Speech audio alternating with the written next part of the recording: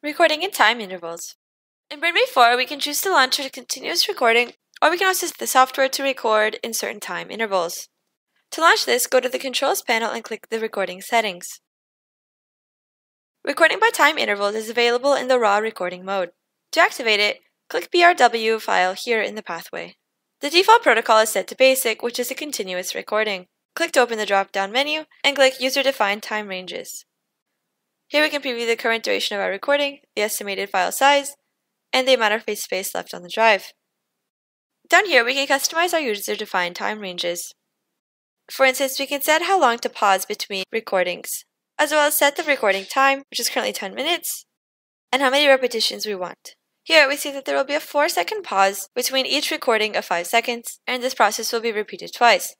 To add another time range, click Add Phase, in this range, we have 1 second pause for every 2 seconds of recording to be repeated 4 times.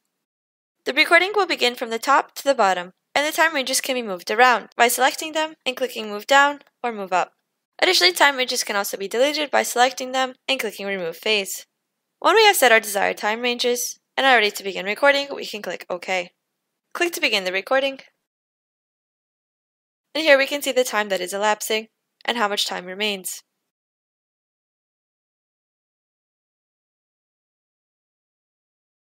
Once our file has been opened and we move along the timeline, we can see that no data has been recorded for our specified pause duration.